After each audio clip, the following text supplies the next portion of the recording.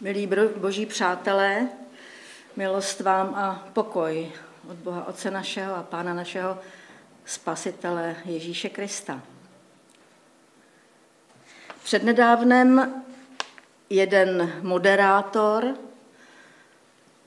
v televizi komentoval jakousi zlodějskou akci celostátního rozměru a podotkl, že vyník nevěděl, že krást se nemá, protože se o tom nemluví, že se krást nemá.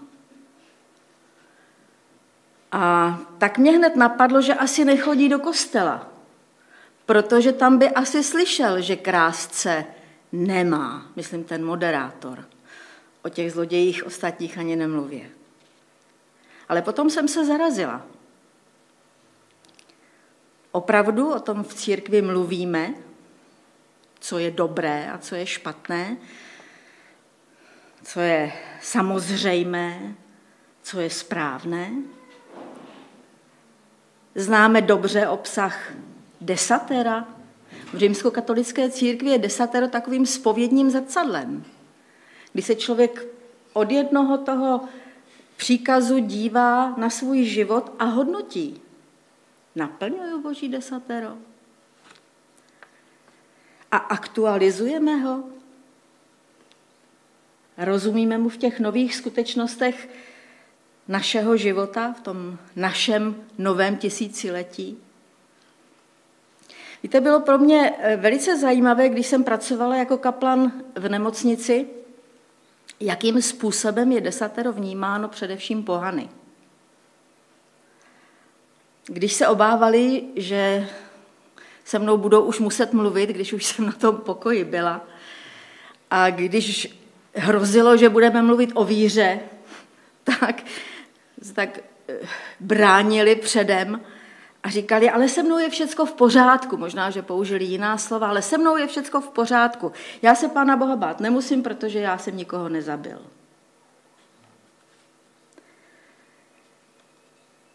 Z celého desatera ve světě právě tenhle příkaz je brán jako ten nejpodstatnější. Nikdo mi neřekl, zachovávám sváteční den, neklaním se nějakým eh, modlám, eh, jsem bez závisti a teď bychom mohli projít celé desatero. Ale nezabil jsem. Nikoho jsem nezabil. Pohané berou tenhle ten příkaz vážně. A já bych se chtěla zeptat, jak ho bereme vážně my, křesťané, v církvi. Je to pro nás tak jasné a tak vyřízené, že se tím nemusíme zabývat? My víme, že Boží slovo je podstatné stejně ve všech detailech. Každé Boží slovo má svůj význam. Já mám jeden takový zvláštní zážitek, eh, když jsem se měla z Protivína stěhovat do Plzně, tak jsem zápasila. Bylo to takové docela složitá situace. A potom eh, při jednom ranním čtení jsem otevřela knihu Ezechiele, proroka, a tam jsem najednou slyšela, jak mi Bůh říká ano. Jdi tam. A já jsem z toho byla pav ale přijala jsem to. A po letech jsem se znovu podívala do toho slova jsem říkala, co jsem to slyšela, teď, teď Bůh tady přece říká něco úplně jiného, ale v té chvíli to boží slovo bylo veli, velice podstatné a bylo důležité a já jsem mu porozuměla. Boží slovo je skutečně podstatné ve všech detailech.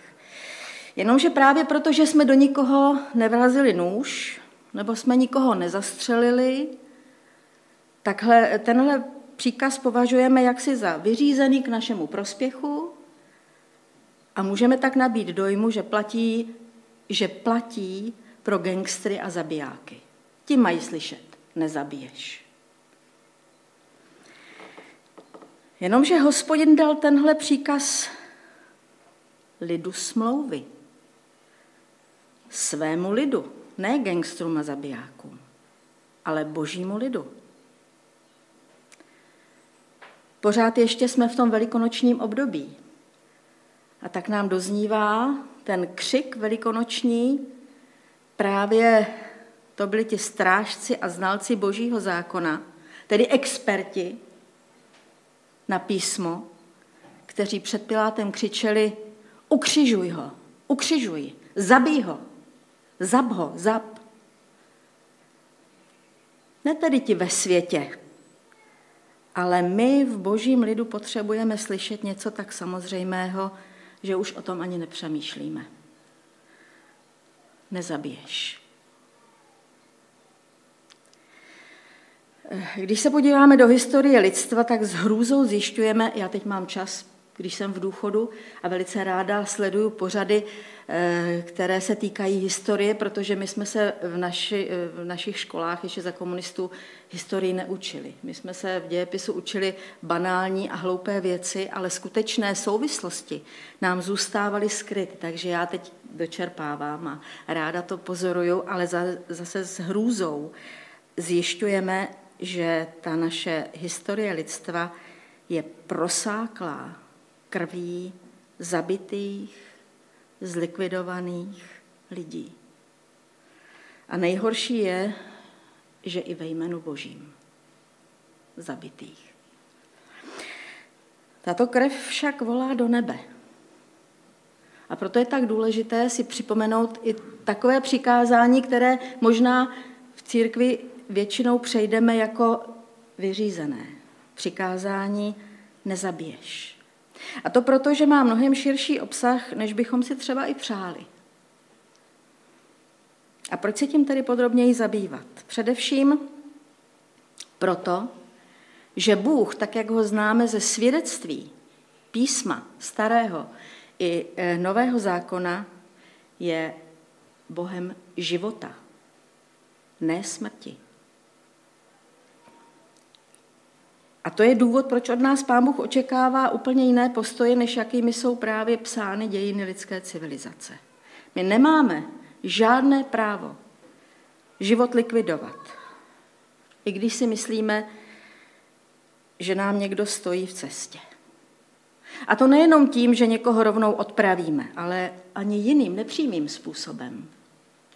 Ve starém zákoně jsou dva takové krásné případy takového elegantního řešení, jak se zbavit svého soka a přitom si neumazat ruce krví.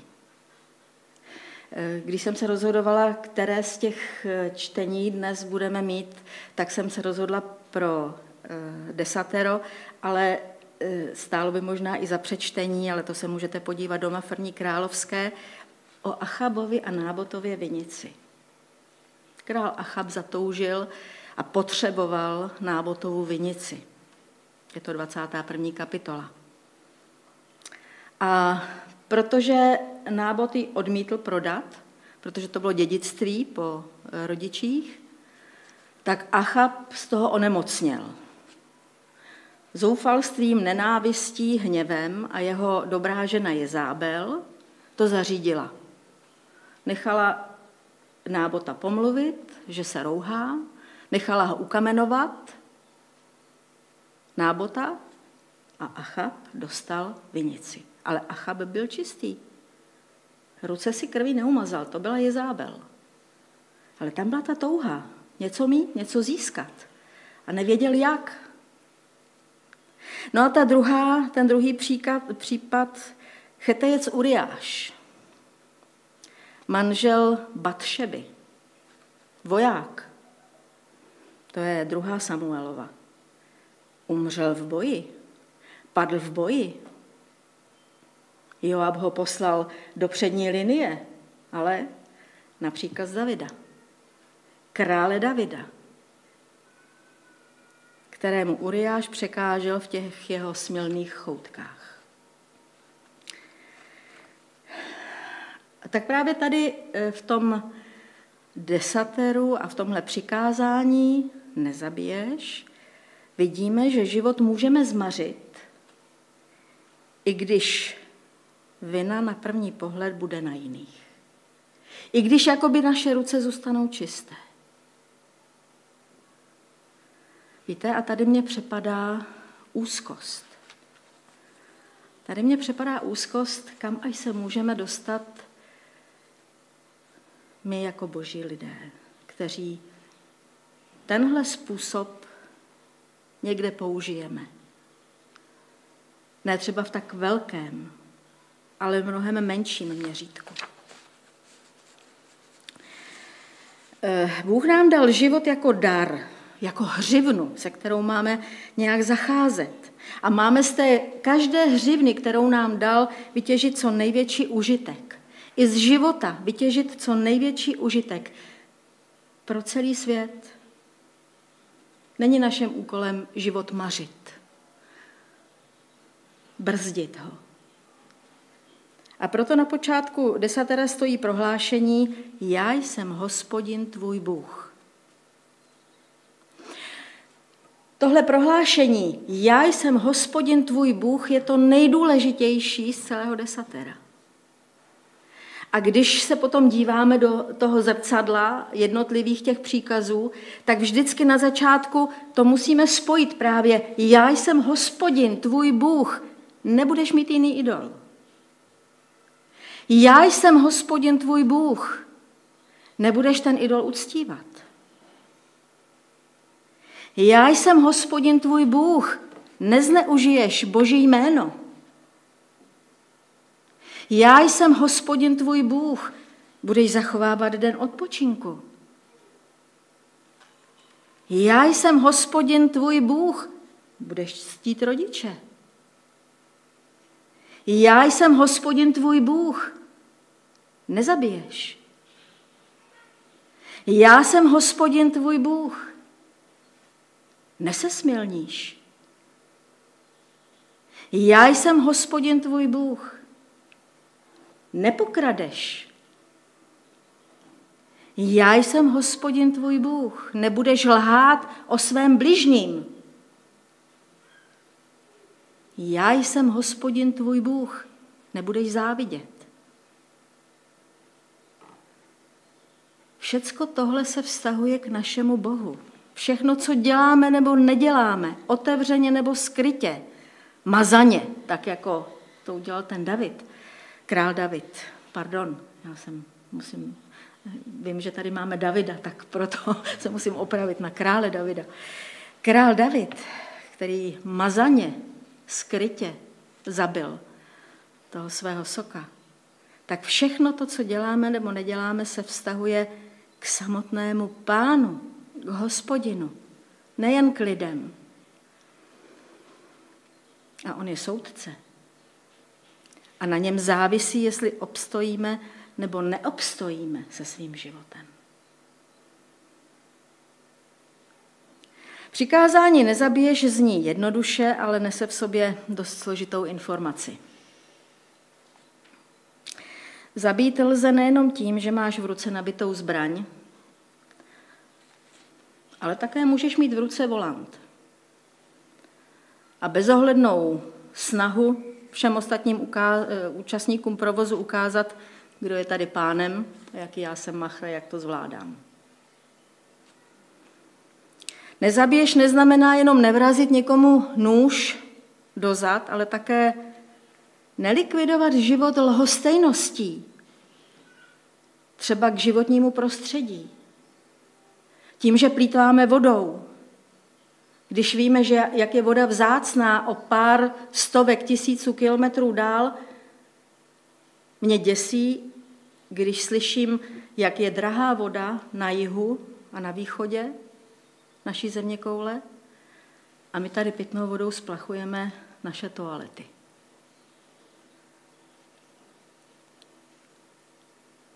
Nelikvidovat životní prostředí nebo neničit chemickými prostředky životy dělníků v těch velkovýrobnách květin. To je úžasný biznis. Když v Africe pěstují v těch obrovských sklenicích nádherné květiny, které my tady kupujeme. Já jsem se rozhodla, že už nebudu kupovat tyhle květiny. Protože jsem viděla svědectví lidí, kteří umírají právě pod vlivem těch chemických látek, které v těch sklenicích se tam e, používají. Je to obrovský biznis pro celý svět, ale také tisíce zmařených a zoufalých životů.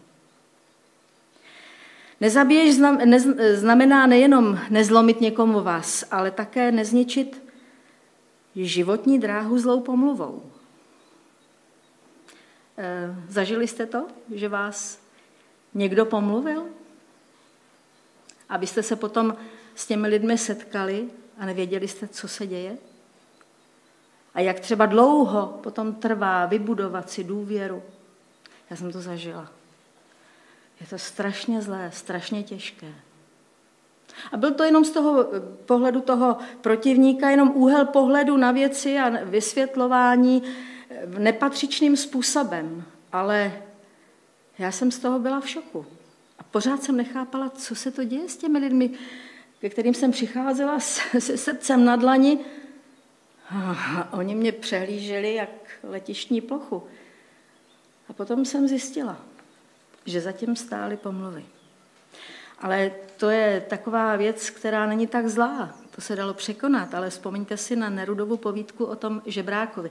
Já se přiznám, že je to už takových možná 40 let, co jsem ji četla, takže jenom mi zůstala ta pointa eh, v hlavě, že umřel hlady proto, že mu lidé přestali dávat jídlo, protože o něm nějaká žebračka, kterou on odmítl, eh, začala vykládat, že je vlastně milionář a že vlastně ty milodary nepotřebuje. A pak najednou zjistili, že ten žebrák umřel.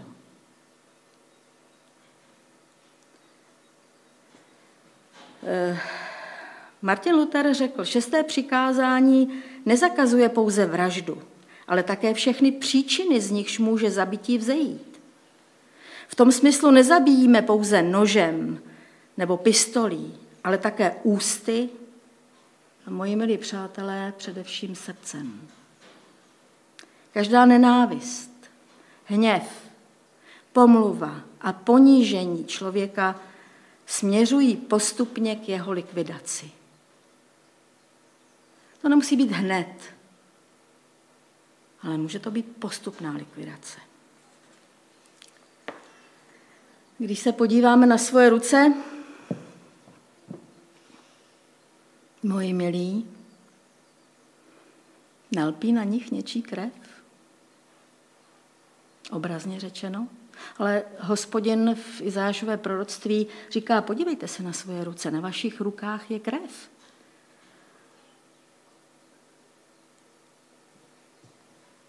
Protože jsme náchylní Boží slovo bagatelizovat, anebo ho adresovat jiným, právě těm gangstrům a zabijákům, kteří mají slyšet nezabiješ, tak se může stát, že v našem srdci se usídlí hněv a nenávist a naše ruce budou, obrazně řečeno, umazány krví. My samozřejmě vycházíme z té radikalizace pána Ježíše, který to šesté přikázání radikalizuje. Kdo by nenáviděl svého bratra, to, co jsme četli v kázání nahoře. Ale Jan v první Janově ve třetí kapitole natvrdo nám to servíruje. Kdo svého bratra nenávidí, je vrah.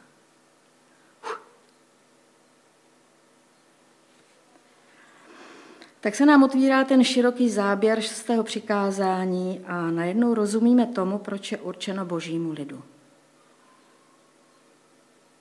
Proč je určeno nám. A také rozumíme tomu, že nemáme výmluvu, tak jako ji užívají pohané, když jsou přesvědčeni, že právě tenhle tak důležitý boží příkaz neporušili. Každý z nás, a jsem o tom opravdu přesvědčená, i když vím, že jste milující lidé, tak každý z nás má určitě někoho, kdo mu právě nesedí. Ve svém okolí, nebo dříve to bylo, nebo to třeba přijde. Každý z nás. A pak je otázka, co je v našich srdcích. A co je v našich ústech. Obstojí to před Božím soudem? Příkaz nezabiješ tedy není určen pro nějakou extrémní vypjatou situaci do které se dostaneme, když nás třeba někdo přepadne v parku a, a my vememe jako v tom jednom veselém filmu, jak vzala tu kabelku a měla jí plnou kamení a praštila s ním a ten padnul. to není pro takovouhle extrémní situaci.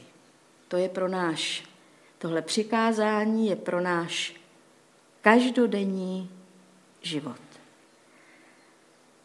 Do našeho každodenního rozhodování a jednání platí nezabiješ. My máme desatero zapsané v druhé knize Mojžíšově a také v páté knize Mojžíšově, na dvou místech ve starém zákoně. Ale pán Ježíš dal také svým učedníkům jeden příkaz. Toto vám přikazují, toto je mé přikázání, abyste se milovali navzájem, jako jsem já miloval vás. To je jednoznačné přikázání. Když si tak představím ty učedníky, kteří, eh, kteří to slyšeli, kteří to dostali, tohle slovo, tohle přikázání, tak eh, to muselo být docela zajímavé, jak se tam tak sešli. Rybář, celník, umírněný, radikál. To muselo být někdy asi veselé, když se tam dohadovali a handrkovali a, a vzájemně se pošťuchovali. Ale to je církev. To je obraz církve. Takový jsme.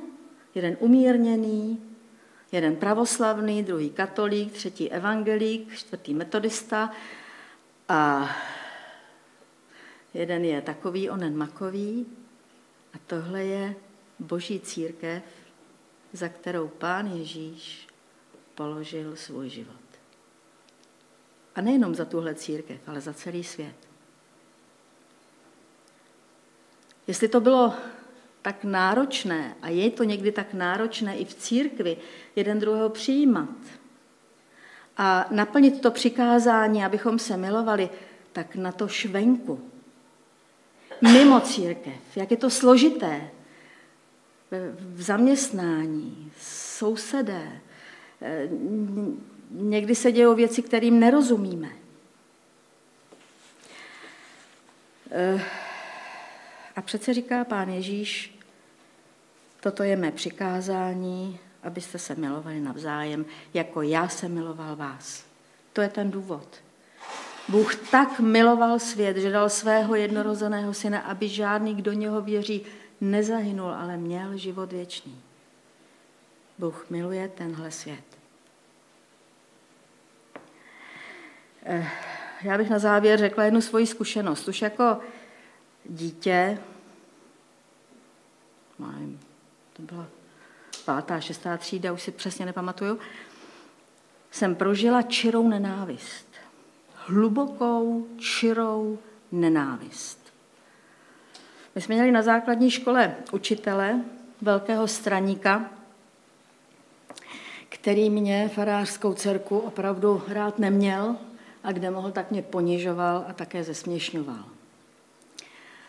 Eh, na to jsem byla celkem zvyklá, ale to, co mě nejvíc vadilo, bylo to, když on kohokoliv, kluky i děvčata, za eh, banální věci neuměrně trestal. A to ještě s úsměvem na rtech. Eh, zapomněla jsem si sešit, musela jsem přijít ke katedře, položit hlavu nad stůl a on pěstí uhodil do, sto, do hlavy tak, aby člověk vzal druhou i o, o ten stůl. Ještě teď, když o tom mluvím, tak je mi z toho zle. Z hlouby srdce jsem ho nenáviděla. Z hlouby srdce.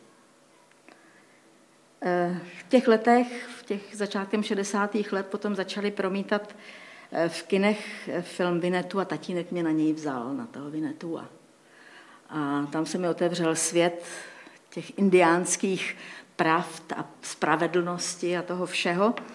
A já jsem si začala fantazírovat a živě jsem si představovala, jak celá naše třída tohohle toho kantora přiváže k vratům, tam byly taková velká vrata, a teď se do něj strefujeme. Šípy. A dlouho, aby dlouho trpěl aby co nejvíc trpěl za všecko to zlo, který nám takhle vy, e, e, projevoval.